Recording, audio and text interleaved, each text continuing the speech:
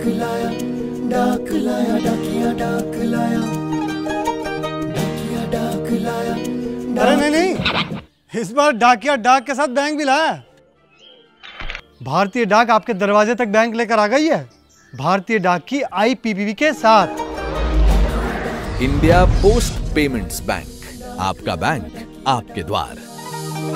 देश के ग्रामीण इलाकों में डाकिए और ग्रामीण डाक सेवक हैं तीन लाख। मतलब कि अगर ये सब ठान लें तो इंडिया को कैशलेस बनने से कोई रोक नहीं सकता है। डाकिए को हर कोई प्यार करता है, डाकिया हर किसी को प्यार करता है, लेकिन उस डाकिए की तरफ़ कभी हमारा ध्यान नहीं जाता है। हमारे पोस्ट ऑफ़िस को पेमेंट बैंक में कन्वर्ट करने की दिशा में काम उठाया है।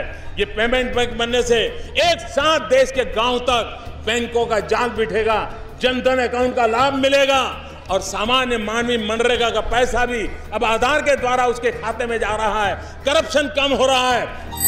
इंदर की भोले की चमेली की बारी है, सबका खुले खाता, ये मेरी ज़िम्मेदारी है। सेविंग करेंट बोलो, ये किसकी क्या तैयारी है? आधार को भूलना नहीं इससे रखनी यारी है। बिल जमा करवा दो, चाहे पैसे घर भिजवा दो। घर बैठे बैठे ही तुम बैंक को बुलवा दो।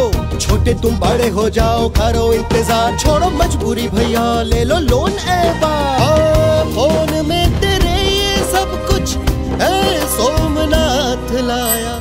ये सब डाकिए पूरी तैयारी के साथ आ रहे हैं। फाइनेंशियल उत्पाद और सेवाओं की ट्रेनिंग लेकर स्मार्टफ़ोन और बायोमेट्रिक डिवाइस लेकर मतलब कि चलता फिरता बैंक लेकर। ज़रिए ढेर सारे ढूंढ निकाले हैं। Counter services merchant banking mobile banking app SMS और आईवीआर पर जो अब तक बैंकिंग सेवाओं से वंचित रह गए उन तक अब बैंकिंग सुविधाएँ पहुंचानी है। बस।